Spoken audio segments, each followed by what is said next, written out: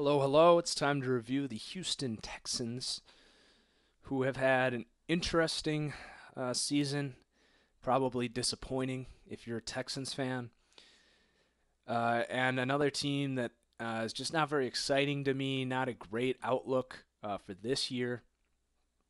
Brock Osweiler, uh, terrible investment, just not a starting quarterback, quite frankly, in this league.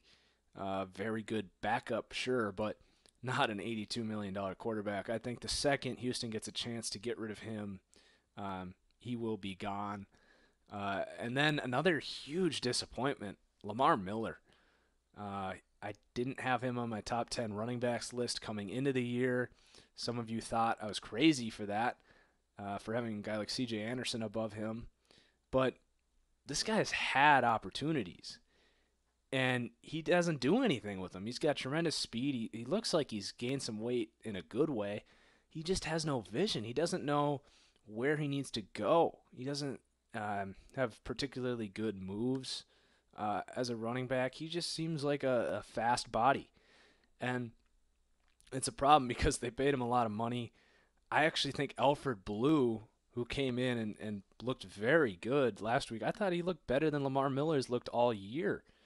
Um, this offense is flat. They have no momentum. DeAndre Hopkins, such a freak, is just not um, involved. Will Fuller, a ton of potential at receiver.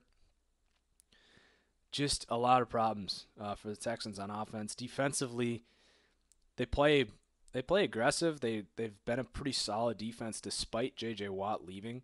Whitney Mercilus has really impressed me this year.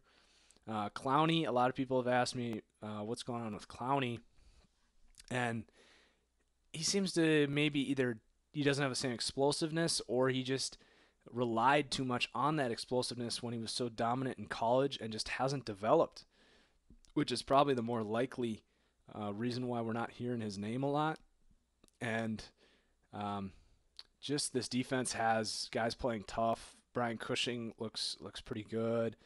Uh, Benardrick McKinney is a freak. There is a play they that uh, Detroit tried to run a, a little pitch out to the left, and Benardrick McKinney crashed into the right guard uh, and just blew him up, impacting the play a little bit. Um, and then the secondary corners are right. I thought Kevin Johnson looked the best out of all their guys, and he's headed to the IR. Uh, the safeties are replacement level. Um, but they definitely have pieces to build around uh, for this defense. Uh, once you get J.J. Watt back, it changes everything. Uh, so it really revolves around if he if J.J. can get his back healthy uh, in terms of the future. I I think it's a positive outlook uh, if you can replace Osweiler. Um, they have such so many weapons on offense. Uh, you think it'd be an attractive spot for a quarterback um, to come and develop, but this year it's the AFC South, so they might win, they might not.